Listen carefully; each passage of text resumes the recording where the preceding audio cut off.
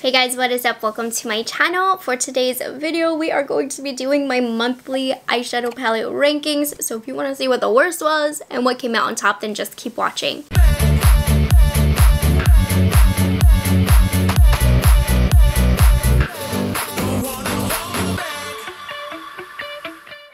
Hey guys, if you're new here, my name is Morgan. I am a product knowledge enthusiast. I just love knowing anything and everything about all the new makeup on the market and sharing my thoughts with you guys, particularly eyeshadows.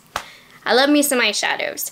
So, how many palettes did we try? One, two, three, four, five, six, seven, eight, nine palettes this month. And honestly, looking down at my table here, there's not a palette that I do not like. So even the worst palettes are actually really, really good. So this video is gonna be pretty positive. So we're gonna start off with number nine, my least favorite palette this month, which is still really pretty.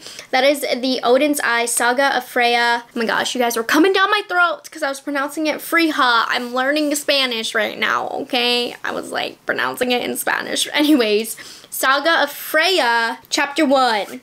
Tears of Freja. So this is what it looks like. Oden's Eye came out with a Freja collection. So there are three palettes that you're going to see reoccurring in this video. But this is what the palette looks like. Quite honestly, it's ranking at number 9 because it really just is not my favorite color story of everything. It's probably my least favorite. It's a little, little too warm for me. And I did struggle with a couple of the colors kind of fading away. But again, you can get a gorgeous look with this palette.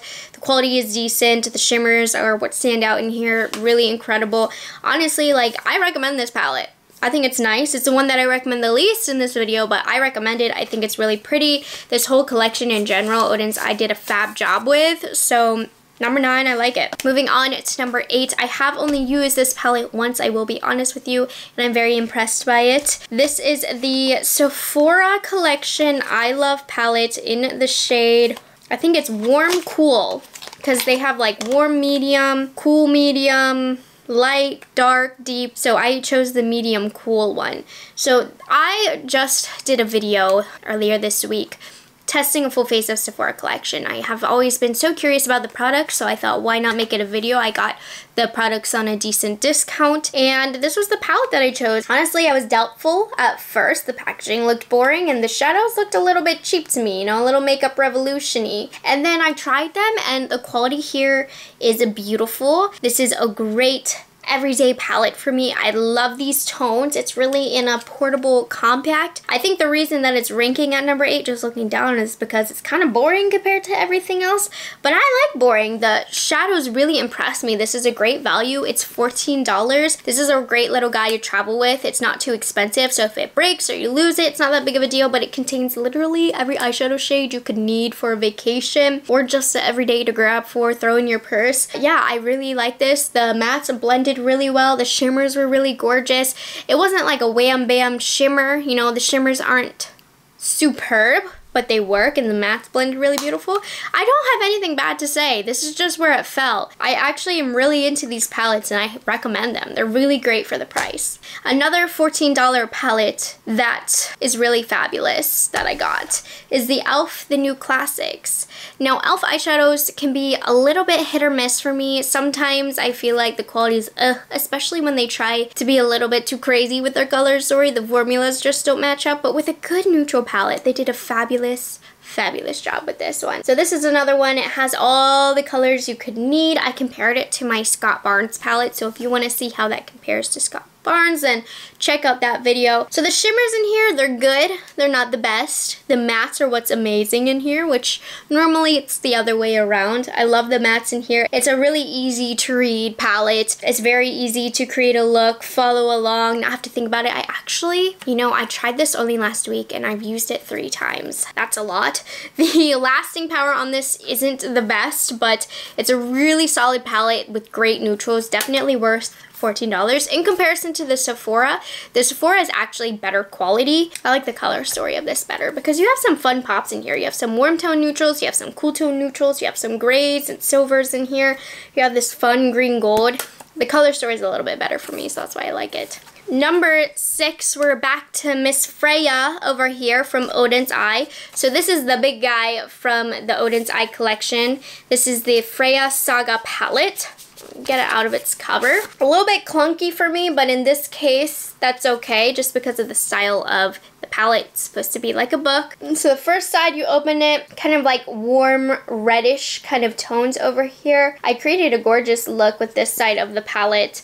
And then you flip it and then you have some more greeny kind of neutral tones. This you can actually get a really gorgeous neutral smoky eye. The shade all over the lid, I'm drooling just thinking about it. I haven't used every shade in here, but if you aren't familiar with Oden's Eye, they definitely have a really great formula for the price well, and their shimmers are what puts them on top. But I don't love, love, love this color story. I think it's great. I think it's versatile, but it's not a palette that I look at and I feel immediately inspired by. Again, really, really pretty. I don't know, this is just where it fell. It's not my favorite color story in this video. Moving on to number five, I have not shut up about this palette recently. Wait till we get to the other ones because I've talked a lot about those as well, but this is the ColourPop and Malibu Barbie palette. I've talked about this in my top 10 recommendations for summer because it truly is just such a fun summer palette. You can also get neutral looks in here as well. You have the fun pops of blue, of pink, of yellow. You can get a warm look, you can get a neutral look, you can get a really hot fire pink look. Now it's not top-notch quality like this shade right here in the middle. Maybe use a glitter glue or a wet brush. But you know what? It works. It's a great value. Actually, this is one of ColourPop's more expensive palettes, but ColourPop is having their 30% off sale. Maybe not at the point that this is uploaded, but hopefully you got it during the sale if you did want it. But seasonally, I'm into this. I think if it was winter right now, this would probably be number nine. I just wouldn't be feeling the color story. But because it is summer, I now have a full-time career in the beauty world. I'm all about the color, having fun. I'm in a great mood every day. I really like this one. This one has been fun for me. I've had a lot of had a lot of fun with it. This is my third video I'm filming today, by the way, so i I'm going loopy. Moving on, Oh my god, I'm so thirsty. Moving on to palette number four. Last time I'm gonna talk about Oden's Eye. Sorry, their collections always have so many palettes. This is the chapter two cat with golden carriage. Okay, so if you're gonna get one palette from this collection, you need to get it solely because there's a cat on it. No, I'm just kidding. It actually is the best color story in my opinion as well. But as you can see, the artwork is absolutely stunning as Oden's Eye palettes always, always are. But what a unique color story. If you're looking for a fun, unique color story for summer, if you really like blues, you're gonna love this. The shade right here, Bling. I just stuck my nail in there. One of the most insane shadows of all time. A beautiful blue. Again, I just think you would have so much fun with this palette. Be a little bit careful. It can get muddy if you don't use it the correct way, but this one is really fun. And I always love to point out unique palettes, and this one is unique. Number three, this one is not unique, and it was actually just featured in my, well, actually these last three were all in my June favorite, so this will be repetitive, but the Patrick Ta Major Dimension Shadow Palette. Honestly, it's boring, but I love boring. Uh, these are shadows that I've been reaching for kind of off camera. It's not an insanely unique palette. It's not fun. It's not the reasoning for every other palette that I've put here. It's just easy to grab for. So a downside of this, I feel like, is you really can't get a ton of different looks, but you know exactly what kind of look you're gonna get. And the thing is, that look that I'm gonna get with this palette is the look that I want to wear a lot. So I actually have been reaching for this a handful of times. I want to say like five or six times I've just reached for this to throw on a quick everyday eye look. You know, it's not a phenomenal palette, but it's just something that you end up using. Boring, but functional, and it works.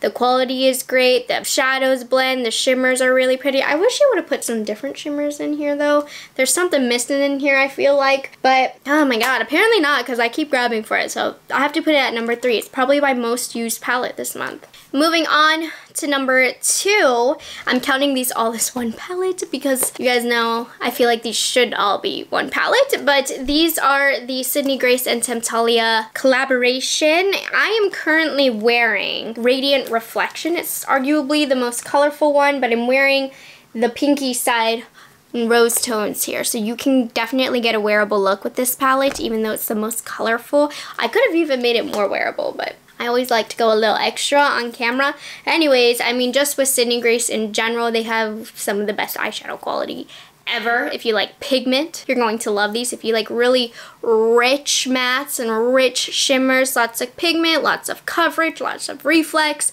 you will love the Sydney Grace formula. I must admit, while I did give a little bit of shade to the way that she organized the palettes, Temptalia chose some of the most beautiful colors I've ever seen. I mean, the looks that you can get with these, honestly, literally, this, these palettes contain some of the most beautiful shades. Definitely watch my swatch and sip where I covered these palettes if you want my full review, my full kind of thoughts and recommendations.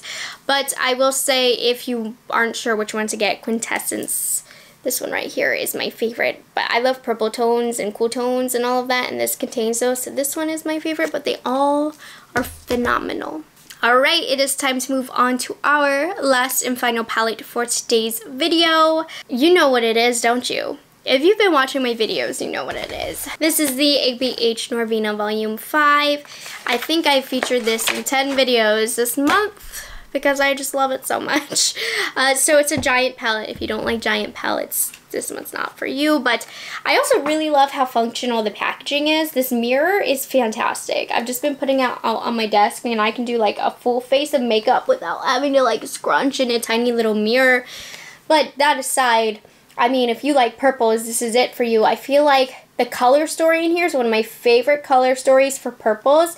I love the neutral row that you have here. I just feel like the color placement, everything was really well thought out. I think that these Norvina palettes seem to have some of the best quality as well. I feel like ABH really revived themselves with this launch because everything has been kind of yawn prior to this and that Norvina palette like got me pumped again to see what they can come out with. I was ready for it. I was excited for it. I really love it. I don't think you'll regret it if you get your hands on it as long as it's a color story that you're interested in but also I just love the color story. It's purple so it was gonna be somewhere near the top as long as the quality worked. Alright you guys, there we have it. Those were all of my rankings for this month's eyeshadow palettes.